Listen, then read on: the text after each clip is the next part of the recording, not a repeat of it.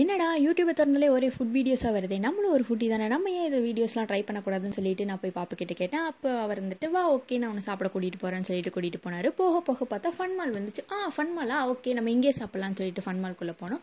போய்கிட்டே இருந்தோம். போய்கிட்டே இருக்கும்போது பார்த்தா பார்பிக்யூ நேஷன் வந்துச்சு. ஆ ஓகே அப்படின்னு சொல்லிட்டு அதுக்குள்ளே போனோம். போய் பார்த்தா பாப்பா முன்னாடி டேபிள் புக் பண்ணிட்டாரு. சரி ஓகேன்னு சொல்லிட்டு நாங்களும் எங்களுக்கு கொடுத்த டேபிளில் போய் உட்காந்துட்டு இருந்தோம்.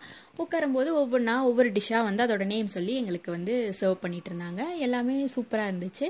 சாப்பிட்டுட்டே இருந்தோம். அதுக்கப்புறம் வந்து ப்ரான் சிக்கன் மட்டன் இது எல்லாமே கொடுத்தாங்க. அது எல்லாமே சாப்பிட்டோம். நல்லாவே இருந்துச்சு. அதுக்கப்புறம் நான் சரி ஓகே ரெஸ்ட் ரூம் போயிட்டு வரேன்ட்டு போயிட்டு வரதுக்குள்ளே பாப்பு எனக்கு ஒரு ஜூஸ் மாதிரி ஒன்று ஆர்டர் பண்ணி வச்சுருந்தாரு. இது என்ன ஜூஸ் அப்படின்னு கேட்கும்போது இது வந்து கேசர் பாதாம். உனக்கு அப்படி ஸ்பெஷலாக சொல்லியிருக்கேன் அப்படின்னு சொல்லி சொன்னார். ஆ ஓகே ஓகே எனக்கு தானே அப்படின்னு சொல்லிட்டு நான் ஃபுல்லாக டீ குடிச்சிட்டேன்.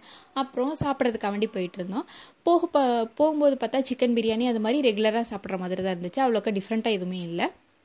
இருந்தாலும் பரவாயில்ல நான் ஸ்டேட்டஸ் போடுறதுக்காக வேண்டியாச்சும் வீடியோ எடுப்பேன்னு சொல்லிட்டு நானும் எடுத்துகிட்டு இருந்தேன் அதுக்கப்புறம் எல்லாமே சாப்பிட்டு முடிச்சதுக்கப்புறம் பார்த்தா ஓகே டெசர்ட் ஐட்டம்ஸ்லாம் ட்ரை பண்ணலாம் அப்படின்னு சொல்லிட்டு பார்த்தா ஃபுல்லாக கலர்ஃபுல்லாக இருந்துச்சு. ஆ ஓகே அப்படின்னு சொல்லிட்டு எல்லாத்துலேயும் ரெண்டு ரெண்டு எடுத்துக்கிட்டோம்.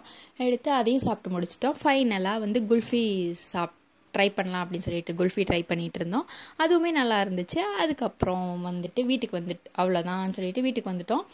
பில் பார்த்திங்கன்னா இந்த அமௌண்ட் வந்துருந்துச்சு. நாங்கள் சாப்பிட்ட சாப்பாட்டுக்கு இது கொஞ்சம் ஒர்த்தாக தான் இருந்துச்சு.